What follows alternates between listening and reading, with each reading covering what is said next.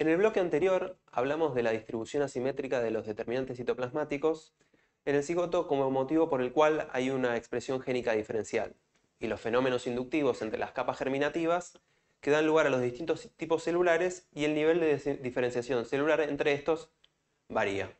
Ahora bien, ¿todas las células se diferencian? ¿Cómo se renuevan los tejidos? ¿Es posible que un organismo adulto viva, eh, funcione eficazmente, perdón, sin células indiferenciadas? Comencemos a responder poco a poco estas preguntas con la siguiente placa.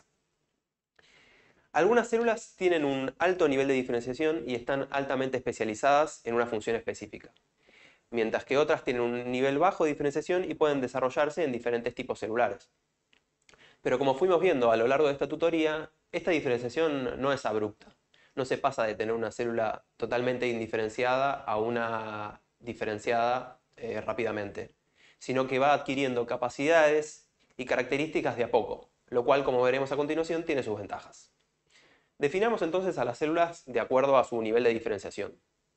Están las células totipotentes, en donde el citoplasma contiene todos los determinantes citoplasmáticos y a partir de la cual se podrá obtener un organismo entero.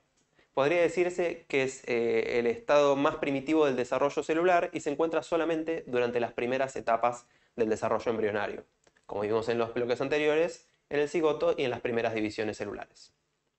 A continuación le siguen las células pluripotentes, que corresponden a las células de las tres capas germinativas que vimos, la capa endodérmica, mesodérmica y ectodérmica tienen la capacidad de diferenciarse en cualquier tipo celular dentro de estos tres linajes germinales. Y a diferencia de las células totipotentes, no son capaces de dar lugar a eh, tejidos extraembrionarios como la placenta.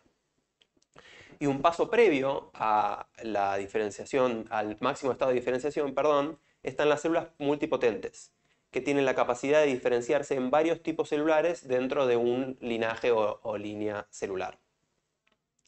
Están presentes en tejidos adultos como en la médula ósea, el cerebro, el hígado, la piel, y tienen la capacidad de regenerar y reparar el tejido en el que se encuentran.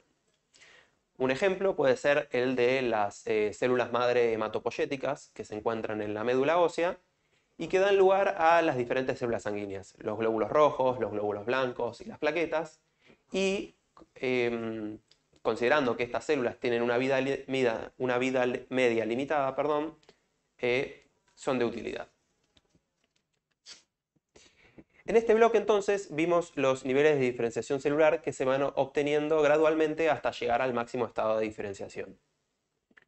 Las células totipotentes son las más primitivas y se encuentran en las primeras etapas del desarrollo. A continuación están las pluripotentes que pueden eh, diferenciarse en cualquier tipo celular dentro de los tres linajes germinales, el endodermo, mesodermo y ectodermo, pero no pueden formar tejidos extraembrionarios como la placenta. A continuación, las multipotentes, que tienen la capacidad de diferenciarse en tipos celulares relacionados y específicos de un tejido o tipo celular, o linaje celular, perdón, siendo más limitadas en su potencial de diferenciación. Se encuentran en tejidos adultos y pueden regenerar y reparar tejidos. En el siguiente y último bloque haremos un ejercicio de aplicación, es decir, un, un ejercicio típico de parcial.